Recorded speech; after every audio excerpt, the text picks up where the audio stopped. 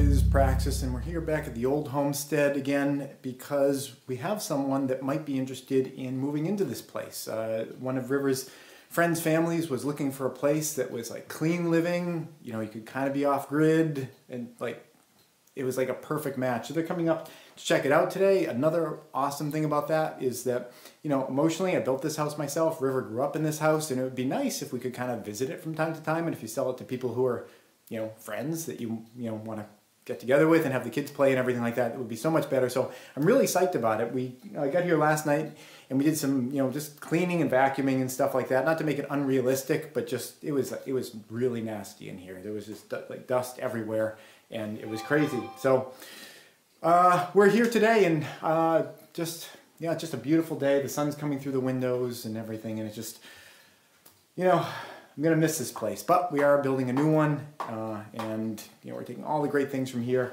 and gonna put it into a new place too. But but still, it's like there's a lot of great memories in here, and uh, yeah, that's it. So they should be coming down the road any moment now. In fact, the phone did a little chime that might have been them saying like, where are we? Because that's one of the great places about this place. It's a little difficult to find, which is good in an SHTF situation. So that's it. Thanks for watching.